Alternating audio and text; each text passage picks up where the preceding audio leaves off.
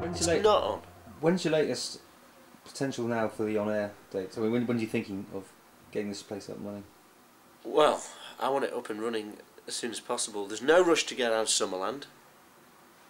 We've been told we're welcome there as long as it takes us. That's lucky, isn't it, as well? Yeah. So, so boulders falling But down. we are paying for this building. I want it operational, and you know, you can gather I'm. This is a video diary, and I'm very, very annoyed about the situation with the desk. We were let down about the transmitter. That was ordered in July and turned up in February. You know, I mean, it's not good. That was another eight-week order period. And you, you lash them as well, don't you, on the phone, I bet? Um, you get fed up in the end. You just ring up and you just say to them, uh, you just get sarcastic. You say, uh, you know, does this thing exist? Are we ever going to see it? You know, and then when the thing did get here, we put it on air and it went pop and took us off air at peak time, drive time. Um, Not in drive time. during your show, Paul. Jesus. Sorry. Wow. These are all the things that go on behind the scenes that a lot of people don't know. Mm. I mean, the and the power cut. I mean, that was another. Do you remember the power cut? Yeah.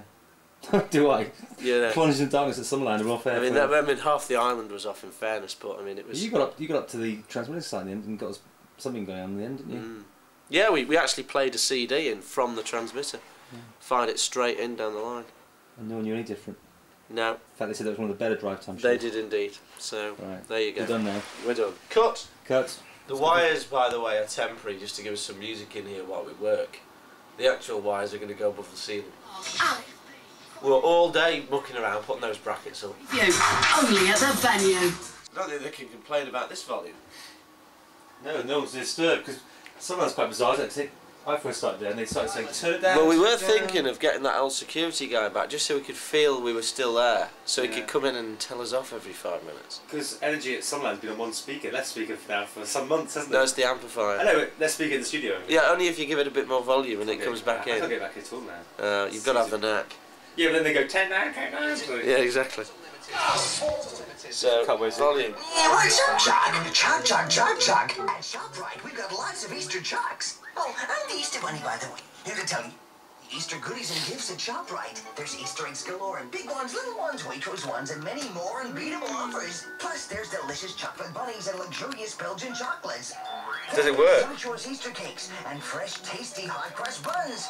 Well, don't listen Does to it me work? rabbiting on about all these Easter goodies and gifts. Hop down to ShopRite. ShopRite, the chop Miri Arrow Rumble. Your Yeah. future's bright Oh, with the let Isle get of the Man keyboard back. International Business School. From BA's Oh, business studies another disaster. MBA, MSCs and Um, we got everything powered up in here yesterday. Full or part-time flex- And then there's that. Sounds like a Hoover in the corner. Oh gosh, Amplifier with a bloody great big fan in it. no way. Listen to it. Yeah.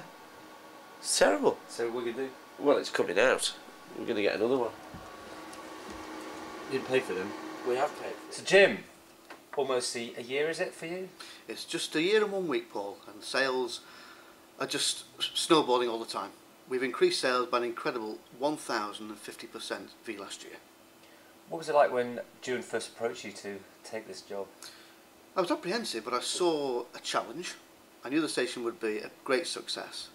And we've gone from being, as you know, the weekend station to 24-7. And clients are coming on board every day, new clients, they're ringing us now, instead of us pursuing them all the time.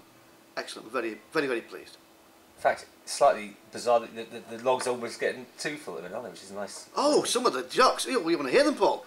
Oh, there's too many ads in this break and blah, blah, blah. You know, that's what I'm sorry, but that's business. You know, that keeps your wages going. But we're very pleased, very pleased. And we're filling slots up now on our daily shows. Uh, the mid-morning show, of course, that's being uh, filled now with, with advertisers, so we're very pleased.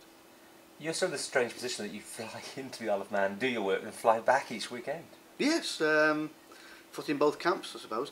What I will do probably is relocate back over here uh, in the near future, um, because uh, it's going to be so busy.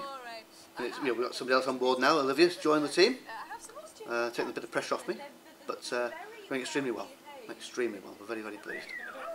So it's going to be nice that you, because of you know, you're starting by working in Juan's office in, you, uh, in his house and this little box room. Well, we started in, in this, I couldn't believe it. He said, come to the office. I said, where's the office? He said, here.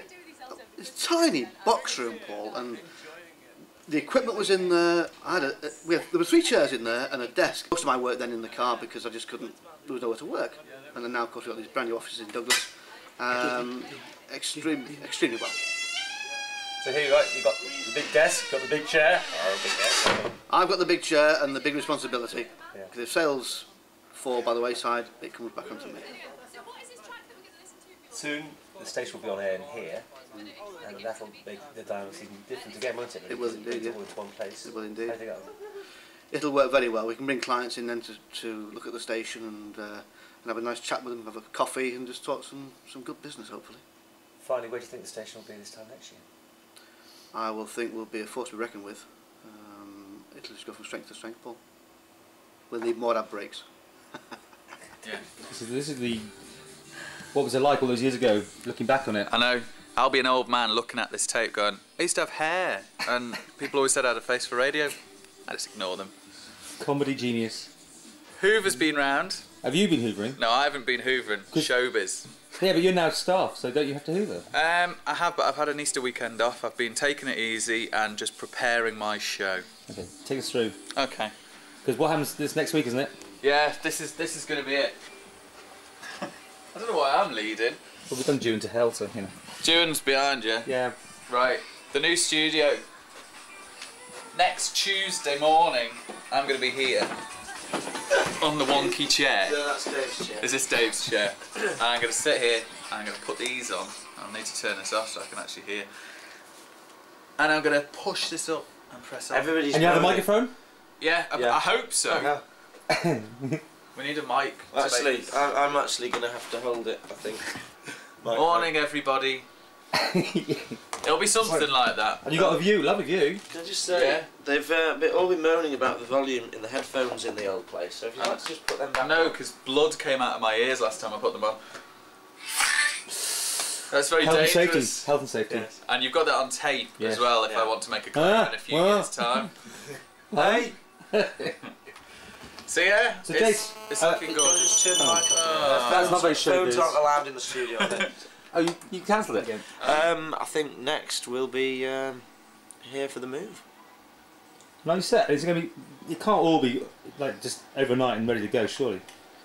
Because We've you gotta- pre-wired. We've pre-wired everything, as you can see in the machine there. Yeah. We've not bought another set of machinery um, for the studio because that machinery is all brand new anyway. All the Denon CD players, they've only, we've only had them a month or so. So we're going to put them in. So we've wired it already. We've set all the levels up. They will literally just plug in and go. So that's that's the idea, basically. So from midnight on Monday night to 7 a.m. Tuesday morning. Yeah. Basically, we're going to run the computer from the transmitter. We're going to telecom. We're going to pull the lines. We're then going to equalise those lines so that the signal's flat. But we think we've got to build in time for that. We're going to make sure that we can do that properly because those lines are going to carry our entire output, so they have to be have to be right. And then. Uh, hopefully if we can get it all wrapped up in a couple of hours, which I'm pretty confident we can, we can at least get a bit of sleep. Although me and Dave will probably be here panicking all night anyway, but at least at least Mr. Quinn can go and get his head down for an hour or so. And then seven o'clock it all happens. Thank you.